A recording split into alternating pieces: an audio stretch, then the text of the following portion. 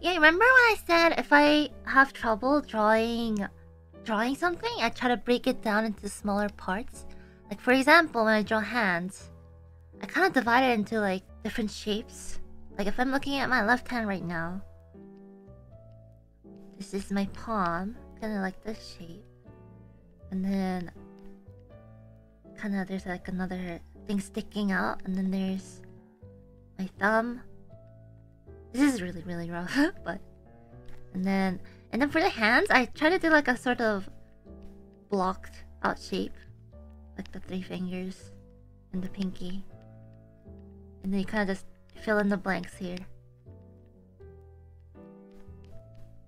And then ta-da, hand.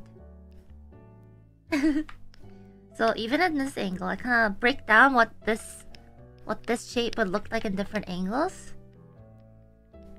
Like it'll look like that. That'll be the pinky.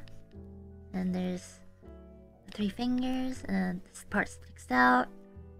And there's two joints, that's the thumb. And you just fill in the blanks.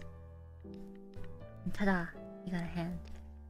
Yeah, you break it break complicated things down into smaller smaller shapes. It's easier for your brain to understand a handy tip indeed.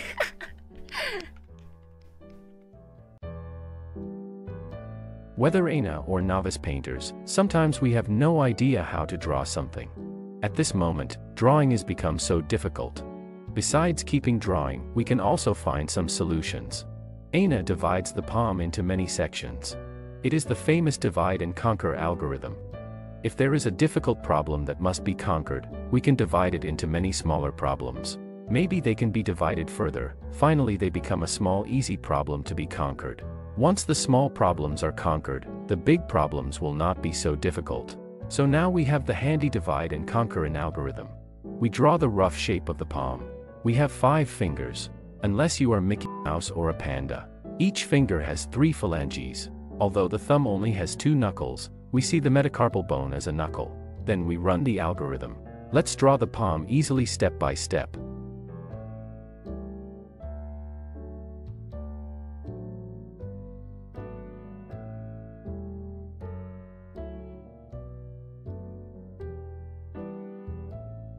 So we're done. By dividing complex problems, more difficult problems can be conquered. This is the wonder of mathematics, algorithms, and even drawings. So what else would be the most difficult thing for you?